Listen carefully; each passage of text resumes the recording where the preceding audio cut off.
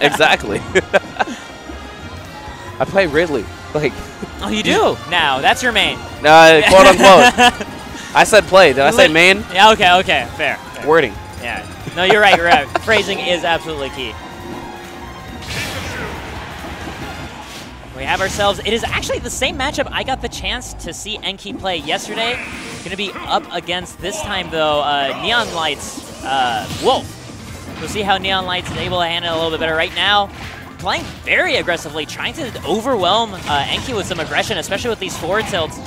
I actually got a double forward tilt there off of the trade. Some very good damage. Trying to lead in with the forward smash as well. Not leading to much. And Enki has him right back off stage.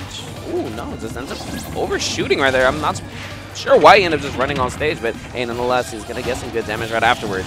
I mean, the, the thing about Pikachu's recovery is it's really nice at making those long distances, so you can afford to make really big gambles like that without necessarily giving up as much like uh, stage control as somebody else.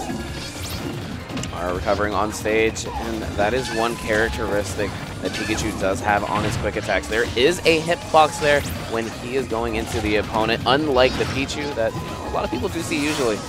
One thing I want to point out too is we're seeing a ton of forward smashes coming out by Enki, and I think this is a response to the amount of forward tilts we've seen by Neonlytes. He recognizes this is a really disjointed move, and I have to contest it with my own disjoint, otherwise it's going to run all over me in neutral. The up smash attempt coming from Neonlytes wanted to you know, call out a possible high recovery from Enki, but that is not the case. Enki going to be able to go ahead and make it back. Did not want to go up there as that down smash was in the vicinity, using that thunder to make sure that Neonlytes was out the way, and that back throw to take that stock. Neonlytes being so in control in, in neutral, especially in terms of, again, pressuring Pikachu. Not easy to do with any character, but Neonlytes is managing to find all these little holes in his defenses. And NP able to go ahead and find that down smash to take that one away, and now he's finding some big damage. This is this is gonna help him get that established momentum that he didn't have in the beginning of this game.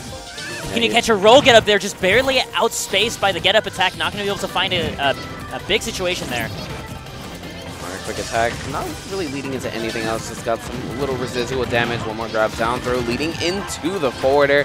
Neonlytes has to be careful. He found himself right back off stage. And even though he did make it back, he ate a back air for his troubles. And wow, the forward smash still connecting. I have to uh, salute Neonlytes' composure off stage as well against Enki, right? Because Enki was reading a panic option in terms of a double jump immediately, and Neonlytes had the composure to just fall next to Pikachu without pressing a button. And that takes a substantial confidence.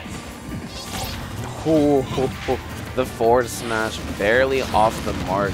And really, Neonlytes just understands when you are going against a Pikachu in the neutral and you feel they're going to go for that quick attack, why not just toss out a big, meaty move? It, it connects. You are most likely taking away that stock. And at the same time, it's actually a very good option just because Pikachu and Pichu end up just extending their you hurtbox when they me? use quick attack. And That wow.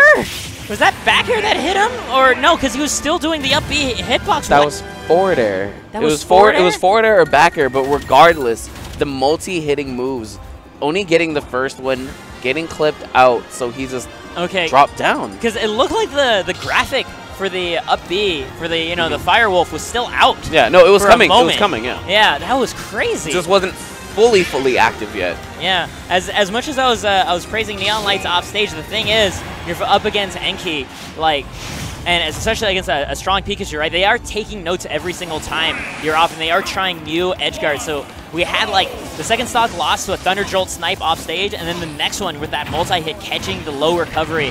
And it's just scary because like there are so many more potential things Pikachu can mix in off stage against you, and you have so many less options to deal with them. All right, landing back air, gonna get some decent damage, and right there, Enki just recognized that quick attack didn't do a lot. Oh, He's gonna another one catching and the nair Mhm. with the blue thunder. Beautiful stuff. Yeah, so Neonlytes, you know, as much as he was being aggressive and it worked out for him in that first game, you know, Enki taking complete notice to it. Like, you know, you want to keep tossing out these hitboxes? I'm going to make sure you cannot deal with something even bigger than your neutral air. Yeah. Especially because that neutral air, like you are just sticking your foot out there, Wolf. Like Things you wanna can go bad. Say what's up to this lightning. Oh. Jumping right over the forward smash attempt as well. Yeah, just kind of having that moment of hesitation, just like, I don't want to die to forward smash, not when I have a lead like this. Oh, Neonlytes ends up having the read, but cannot connect that forward smash. I feel like a couple of these tech chasing situations, you maybe want to opt for the down smash instead, just because you have both sides to cover with that slight destroy from the claws. Yeah. Right, Laser is your all and everything. Yeah. You know, the first hitbox on the actual gun, then the laser itself doing so much. Oh, I thought he turned around for the back air. You know, but hey, nonetheless, that forward air is going to send Enki right back off stage. Oh, Neonlytes expecting a jump get up, and Enki this time mixing in a get up attack. It's actually, Neonlytes is like taking notes and trying to punish the previous get up that Enki did at the ledge. Yeah, it's just a chess match over and over, uh, especially with all, all these defensive options. Do you cover roll? Do you cover regular get up? What, what are you choosing, Enki? I cannot get you in my grasp, and as he does, the back throw still not enough.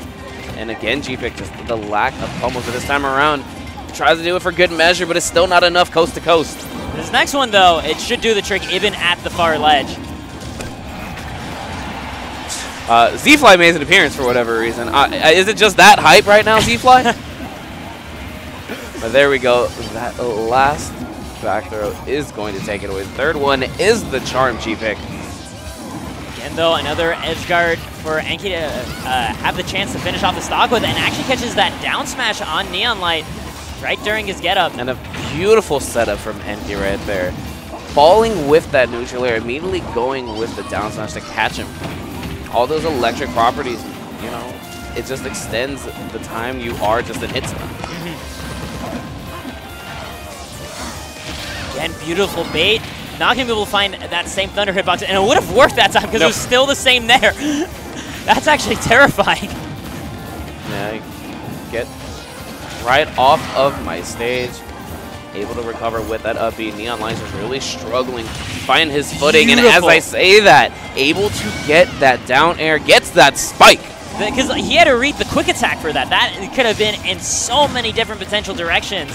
But uh, that is huge for uh, Neonlytes to try to bring this to a game three. Yeah, no, in that last situation, that just came down to Enki just very worried about that down smash at the ledge or some type of hitbox that was going to be there. Went high, ends up getting called out instead. Right now, Neonlytes is cooking. He has Enki off stage, but, But as the fast as I say that, quick attacks back on and turns around for that dash attack to take that stock. Yeah. The, there is, of course, a lot of great European talent. It's not just the big names like Glutonny and Leffen and Armada, all across the board. You you know, guys like that, they don't show up without a village of great players to play against, and, you know, uh, Enki's a great example of that.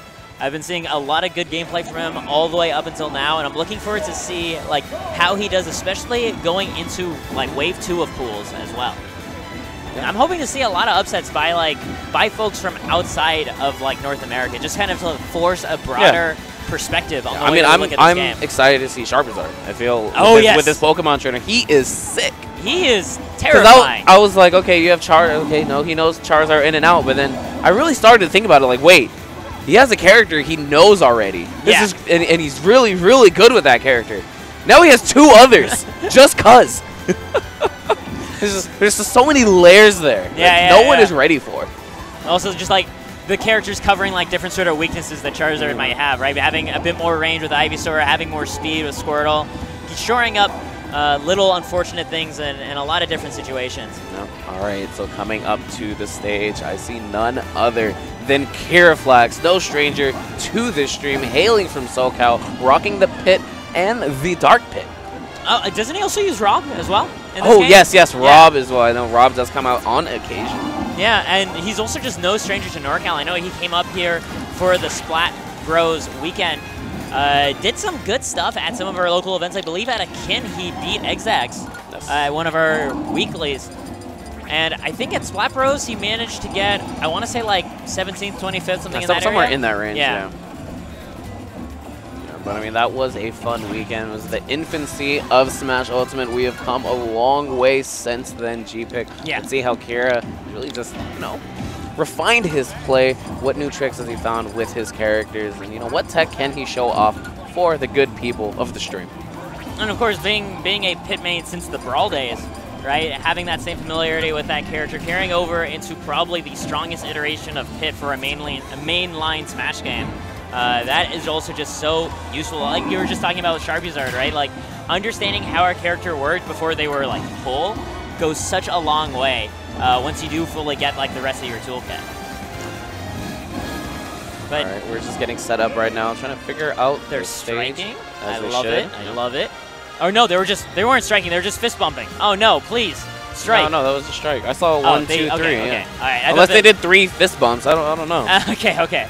It's like, yo, I don't just do one. I, I was trying to like catch a glimpse of like the the actual